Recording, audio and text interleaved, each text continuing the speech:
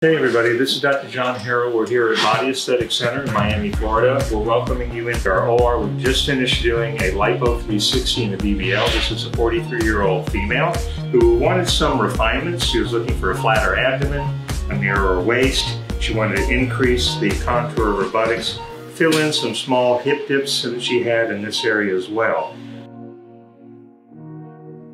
Um, we just finished, cleaned her up a bit. Um, because of the position, she's a little kind of, this isn't something you're gonna see when she's upright. This will be down more like this.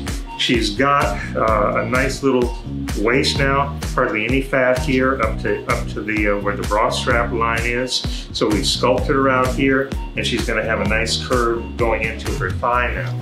We've augmented the buttock to create a nice, a bit of fullness right here. She's a little bit overcorrected now. We like to do that because some of this that we put in is actually fluid, not all of it's fat, and some of the fat doesn't live. So we're gonna overcorrect them a little bit on both sides, but she's got this nice um, A-frame shape where she tapers in here, gets wider through here, has a nice projection in this area. Uh, good, good candidate, nice patient with very good skin, so she did really well. Um, hope you like stopping in and visiting with us. Um, if you're looking into getting Lipo 360 BBL, please give us a call. We'd be delighted to see you and help you reach your goals. Again, Dr. John Harrell, Body Aesthetic Center, Miami, Florida.